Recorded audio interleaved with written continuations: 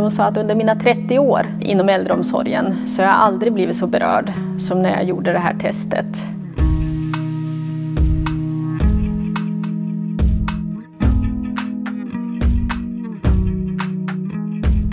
Rent personligen så tycker jag att jag har fått en annan syn på verksamhetsutveckling och vad som är det riktigt viktiga. Så det var ett helt nytt sätt att jobba och vi fick fram jättemycket nytt som vi inte kände till.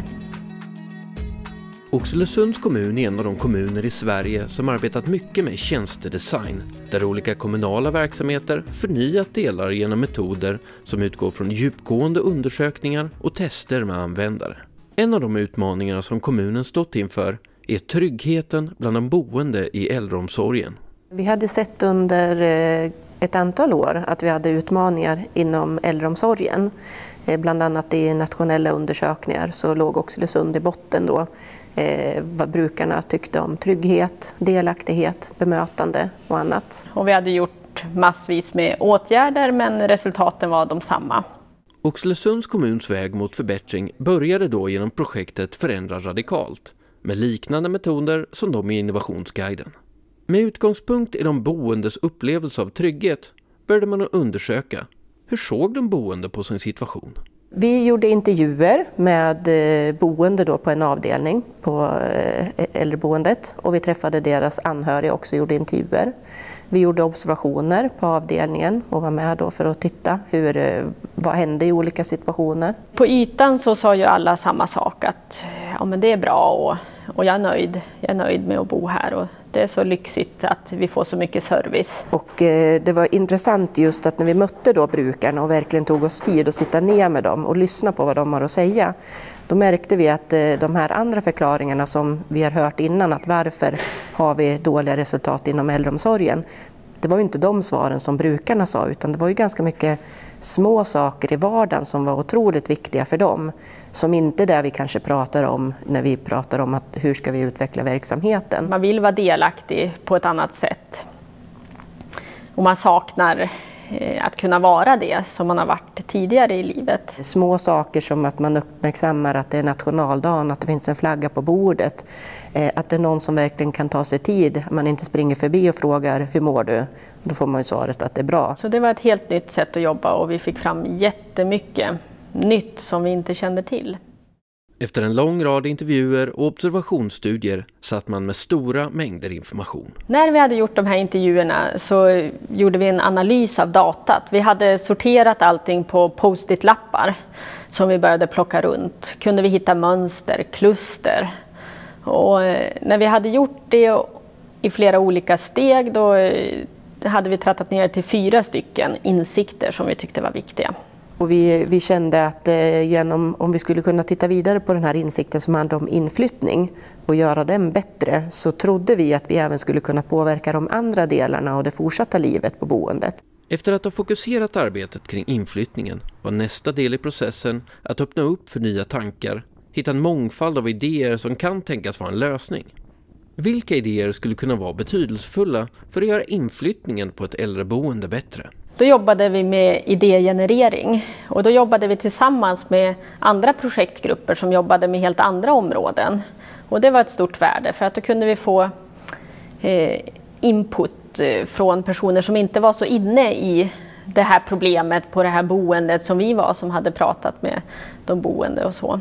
Ja, det var nog hundratals idéer som fanns på olika tankar och spår att det här skulle man kunna jobba vidare med.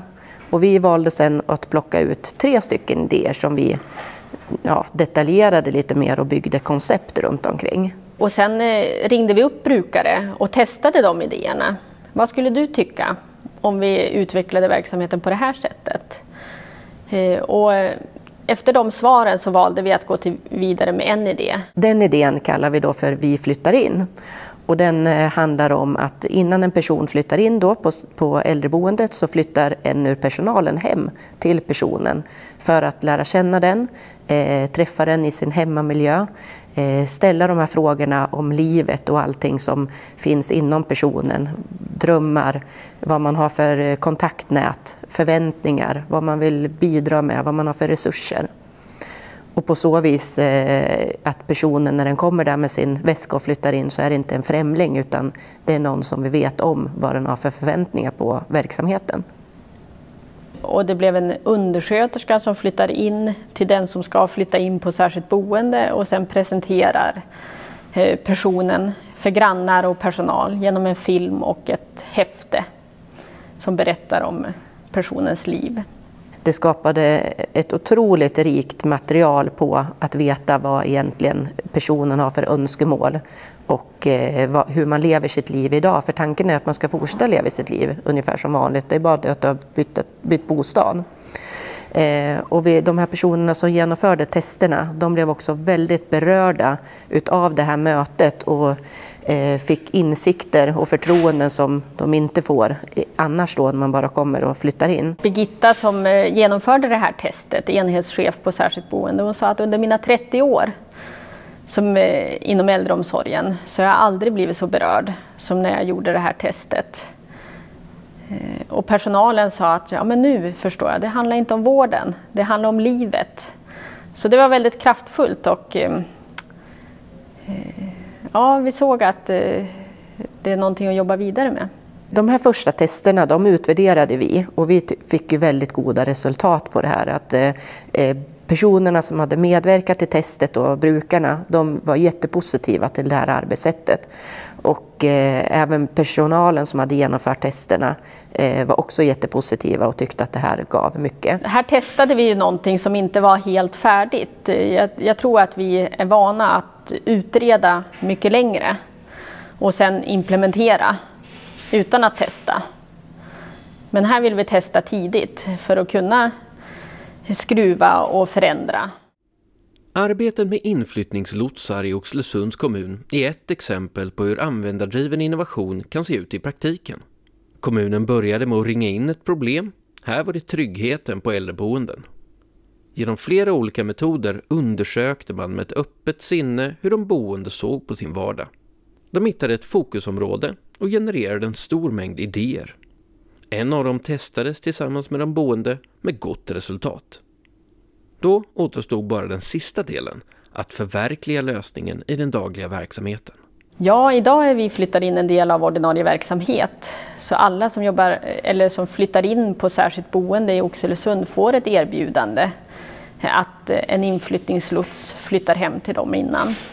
Och våra målsättningar är att vi ska ha en inflyttningslots per avdelning. Idag har vi tre stycken i Oxelösund. Eh, och målsättningen är som sagt att vi ska ha fler framåt. Men det, det tar tid, man måste ha tålamod och inte släppa liksom idén för att vi ser ju att eh, vi får bra resultat av det och eh, vi tror fortfarande på det här som arbetssätt och då gäller det att hålla i. Eh, rent personligen så tycker jag att jag har fått en annan syn på verksamhetsutveckling och vad som är det riktigt viktiga. Och eh, det tycker jag att vi har fått i flera delar utav organisationen. Och eh, vi har sett att genom att jobba med de här metoderna så att de är kraftfulla, både liksom att skapa engagemang, eh, att förändra förhållningssättet hos våra medarbetare, att vi ser på dem vi är till för på ett annat sätt. Och att det också ger nya resultat, att vi vågar testa nya lösningar på ett annat sätt som gör att vi kan bli mera innovativa än vad vi har varit tidigare.